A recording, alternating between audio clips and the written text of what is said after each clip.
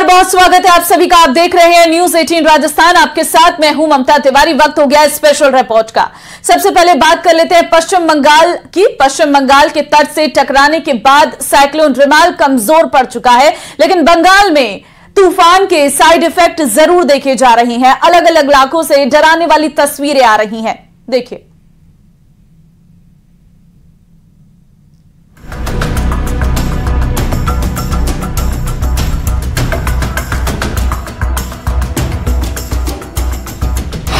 रिमाल आया, तबाही लाया।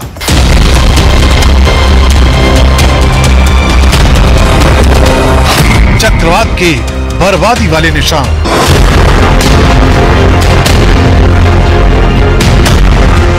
कोलकाता में लगातार बारिश।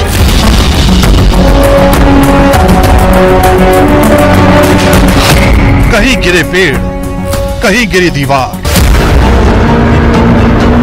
पश्चिम बंगाल से चक्रवाती तूफ़ान रिमाल गुजर चुका है। करीब छह घंटे तक चली तूफानी हवाओं ने बंगाल के कई जिलों में लोगों को दहशत में ला दिया। दावा किया जा रहा है कि इस तूफ़ान की वजह से कई जिलों में अच्छी खासी तबाही हुई है। वो तस्वीरें भी आपको दिखाएँगे, लेकिन उससे पहले रिमाल को लेकर मौसम विभाग ने एक और अलर्ट जारी किया है।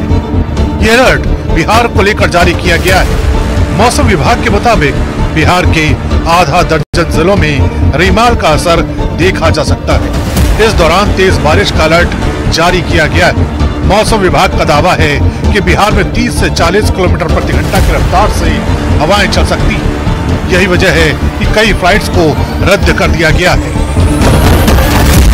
ये वीडियो दक्षिण 24 परगना के सुंदरबन का है, जहाँ रिमल के चक्रवाती हवाओं ने भारी नुकसान किया है। यहाँ कई बड़े बड़े पेड़ उखड़ चुके हैं, जबकि हवाओं की ताकत ने बिजली के कई खंभों को भी अपनी जद में ले लिया है।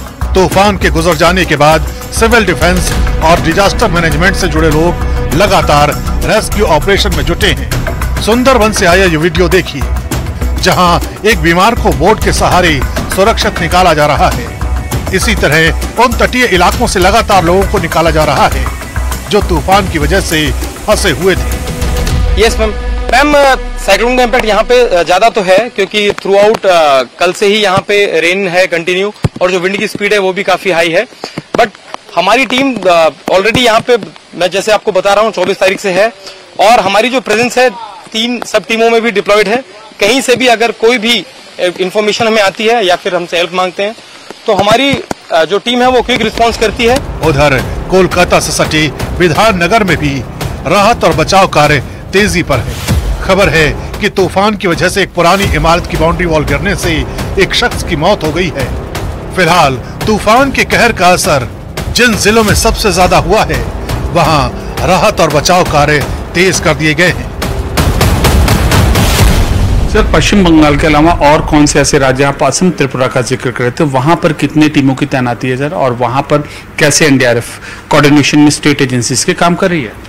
हमारी अमूमन वहाँ पर तीन टीमें रेगुलर तैनात रहती हैं और उनकी तैनाती वहाँ पर की गई है। उसमें से एक टीम को फ़िलहाल साउथ रीजन में जो सेंसिटिव एरिया माना जा रहा है, वहाँ पर तैनाती की गई है। और ये एक जस्ट एक प्रियमटिव एक्शन है। ये इंश्योर करने के लिए कि कोई किसी प्रकार की क्षति ना हो। अगर हैवी रेंज होता है, कुछ फ्लडिंग होती है तो वहाँ पर कार्रवाई त्वरित की जाए। इसके अलावा सड़कों पर आवाजाही को दुरुस्त करने के लिए तूफ़ान की वजह से गिरे पेड़ों को भी हटाया जा रहा है।